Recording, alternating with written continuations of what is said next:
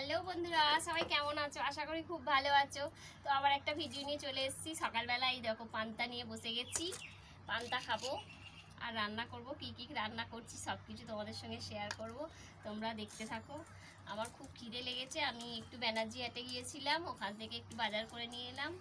এসে আর খুব খিদে লেগেছে। তো ভাবলাম, কি খাব কি খাব? একবার ভাবলাম, চিড়ে খাই। তাই না, চিড়ে খাব না। পান্তাগুলো নষ্ট হয়ে যাবে। পান্তাগুলোই খেয়ে নিই এখন যা চালের দাম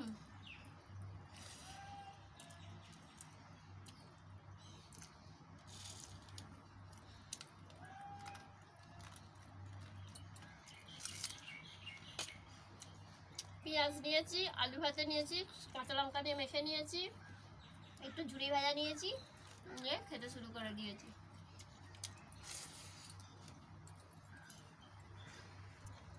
তো পান্তা খাওয়া হয়ে গেল এর আলু কেটে নিই।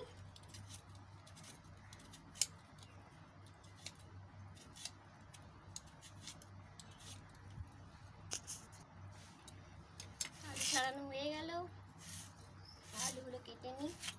যা গরম পড়েছে বন্ধুরা, কিছু খেয়েও শান্তি নেই, কিচ্ছু নেই। মনে হচ্ছে যেন কি করি? পান্তা কাটা খেয়ে শান্তি হলো গরম ভাত খাওয়া যাচ্ছে না। আমি তো দুপুরবেলা করে ভাতই খেতে পারছি না।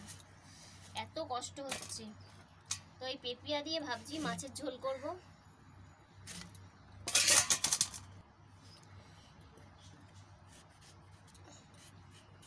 পেঁপিয়াগুলো টকটক করে ছাড়িয়ে নিই।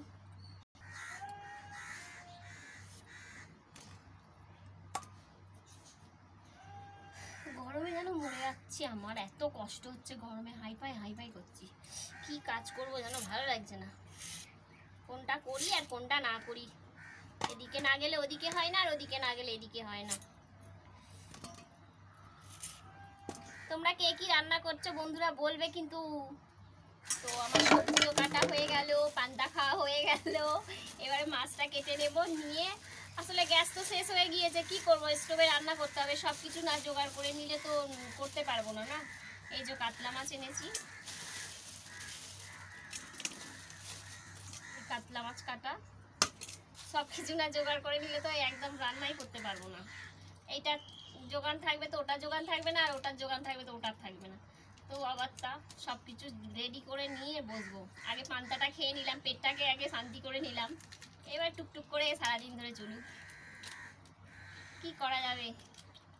কাজ না করলে কি হবে? তাও তো একবেলা দোকান খুলছি না।